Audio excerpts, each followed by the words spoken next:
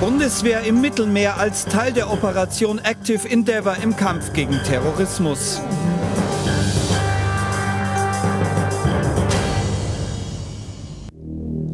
Der 11. September 2001 Islamisten entführen in den USA vier Flugzeuge und steuern zwei von ihnen in das World Trade Center. Mehrere tausend Menschen kommen bei den Anschlägen um. Zum ersten Mal beschließt der NATO-Rat daraufhin am 4. Oktober 2001 das Inkrafttreten des Bündnisfalls. Die Mitgliedstaaten beschließen Maßnahmen zur Bekämpfung des internationalen Terrorismus. Zu diesen gehört auch die Operation Active Endeavour, an der auch die Bundeswehr teilnimmt.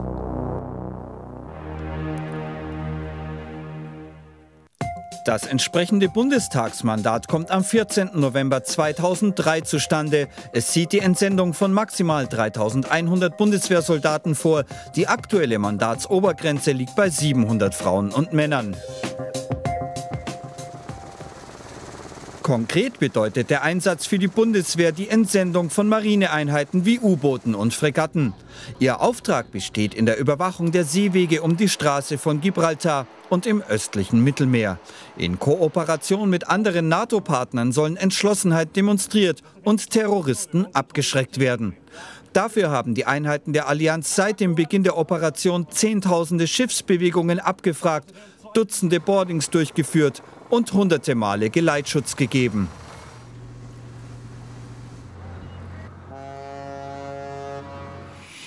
Am Einsatz beteiligt ist auch ein Marinefliegergeschwader. Von Sizilien aus starten die Soldaten mit einer Maschine vom Typ P3C Orion zu Aufklärungsflügen. So, Kuh von Taco. Nächster interessanter Kontakt, Radarkontakt 31 in 29. Uh, Sie ergänzen die Leistungen der Schiffe und stellen eine flächendeckende Überwachung des Mittelmeers sicher. Dafür fliegt die P3C Orion in einer Höhe von ungefähr 100 Metern über das Meer. Der Korvettenkapitän versucht Funkkontakt mit einem verdächtigen Schiff herzustellen. The NATO Shipping Center regarding your next port of call and please answer the following questions on channel 10. Da auf den Funkspruch keine Antwort erfolgt, überfliegt die Besatzung das Schiff so, dass der Schiffsname erkannt werden kann. Die Daten werden weitergeleitet. Das ist alles, was der Korvettenkapitän jetzt tun kann.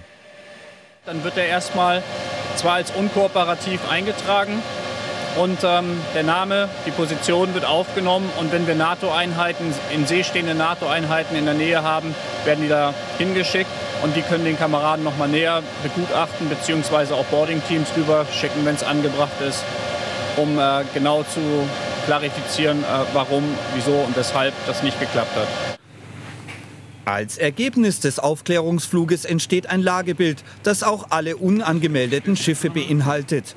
Die gewonnenen Daten gehen direkt von der P3C Orion in ein NATO-System ein. Im Gefechtsstand wird der Bericht dann ausgewertet und eine Meldung erstellt. Nicht nur Terroristen werden durch diese Präventivmaßnahmen abgeschreckt, auch organisierte Banden und Schmuggler haben es schwerer. Die Kriminalität an Europas Südgrenze hat durch die Operation deutlich abgenommen.